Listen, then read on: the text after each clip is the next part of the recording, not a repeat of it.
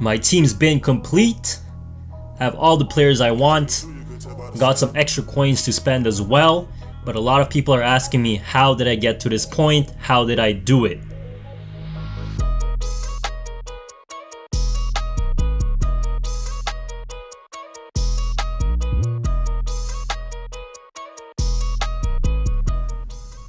Step 1 would be completing the fantasy challenges. So in this video, I'm to try to make it simple. Let's do three steps. The first step is to do the fantasy challenges like I said. You're playing against computers. It's very long sometimes, not gonna lie, it could get long, but the grind is worth it. You get a lot of rewards, a lot of coins. If you've checked my channel out, you'd see a lot of streams completing these challenges. It could get boring, but all you gotta do is grind it out. What I'd like to do is stream it, uh, play some music, because obviously it's gonna be repetitive, so you're gonna get bored fast, but you just gotta find a way to grind it out and then build your team from there. It's a lot of time, but it's worth it, which will bring me to step number two. As you complete these challenges, you're gonna be earning rewards and coins. And the very first 90 that I've ever gotten was from a booster pack, which is Vince Carter. And what's funny is that I've always wanted this card, and I eventually got him in a pack, which is crazy. So as soon as you start collecting rewards and coins, you could use these to help you in your challenges. Because I'm not gonna lie, in the beginning, completing these challenges can be hard because your team is not as good. But as you get boosters packs along the ways, wow, along the ways, I messed that up. Anyways, as you get packs along the way and you get more players, challenges are going to be easier to complete. So the beginning is going to be a struggle. You're going to lose a lot of games because I did. So I had to repeat a lot of these challenges because sometimes you're down 15 with a few minutes in the fourth quarter and you just don't have the firepower to complete the challenges, but you just gotta keep trying. And this is another pack I've gotten from a challenge. I got a program pack and to be honest, my, my luck in packs are not that good, but sometimes I do get lucky. And if you watch my streams, you'll see some of the cards I've pulled. I got 95 Westbrook. I got 89 Dwyane Wade. I got like other cards in the stream. But for the most part, a lot of these cards have been mediocre or less. Especially for the time that I put in. As you can see, I got 84 Belinelli here. I didn't record all the openings because there's just way too many. But if you watch my stream, you'd see a lot of packs I've opened. And these are some that I've recorded. And as you can see, I'm just collecting rewards. And you might seem, you might think that these are nothing, but in the beginning, when you're starting out your team, all these cards, they do add up. As soon as you start selling them, let's say for a thousand coins, 2,000, they eventually add up because you're gonna get a lot of packs along the way. And they're gonna add up small, little by little and eventually you'll get 10,000 coins, 15,000 coins, 20,000 coins, and then, you know, you can start building your team up little by little. It's more of a marathon. It's not like, don't expect to complete your team really fast. It's more of a marathon, more of a grind. And step number three is to sell your rewards. As you can see, I sold some of them and also buying and reselling from the marketplace. And the card that I bought and resold the most is probably Glen Rice. Early on, Glen Rice was worth so much. So I explained that you need patience and luck because obviously you gotta be lucky to find someone that sells it for super cheap.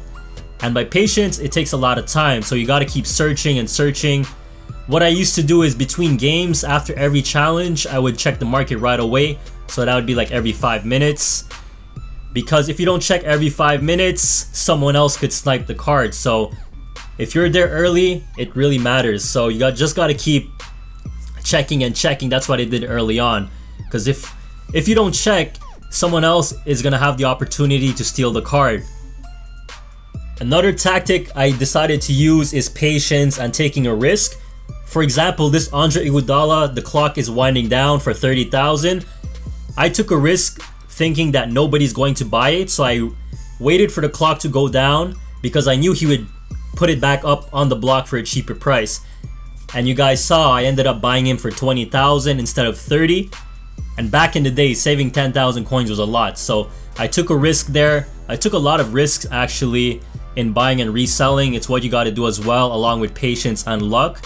So all this combines into, you know, what you're able to get in your team in terms of buying and selling. It's all about common sense as well.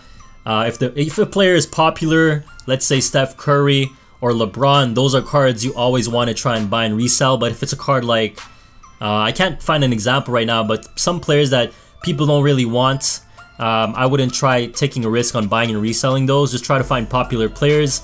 And I'm showing you guys some of the players that I have bought and resold. And eventually, as soon as you start stacking up coins and doing these steps, it's a rinse and repeat. And eventually you could get the players you want. For example, I wanted Yao Ming earlier. And Steve Nash also early on is the second 90 I got along with Vince Carter. So Vince Carter was my first 90. Steve Nash was my second 90. And I think this was a worthy purchase because back in the day, if you compare to all the other 90 point guards, they were all going for 100,000 and above. Derrick Rose 300, Wall for 124, Curry for 300, Irving for nearly 250. So Steve Nash for 88,000 back in the day, for me, it looked like a steal. So I didn't know prices back then, but just with your logic, you're able to deduct if it's worth it or not. Um, so this was just, you know, it took me a while to make this video, find all these clips for you guys. So if you guys found it helpful, please leave a like or comment. I'm just trying to help out uh, the new live users. This is something you can do every year on this game uh, to build your team because a lot of people don't have a strategy. So this is the strategy I used. So if you found it helpful, drop a like and drop a comment. And uh, I'll see you guys in the next one.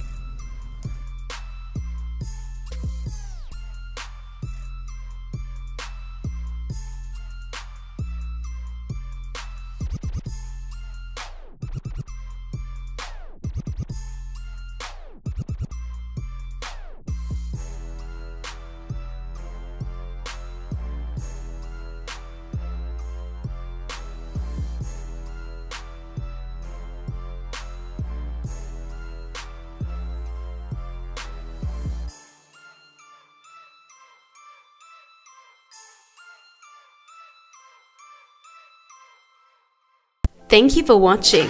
If you enjoyed this video and want to get flashed, please be sure to share and like this video. To stay updated, click subscribe and also follow GFlash on Twitter.